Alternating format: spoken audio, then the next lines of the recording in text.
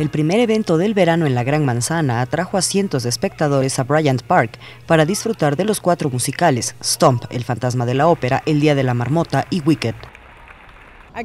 Crecí en Nueva York, así que he visto cosas divertidas y gratis en el verano, y mis hijos y yo estábamos en la zona porque fuimos a la biblioteca, así que pensé, ¿por qué no venir a escuchar algunos musicales?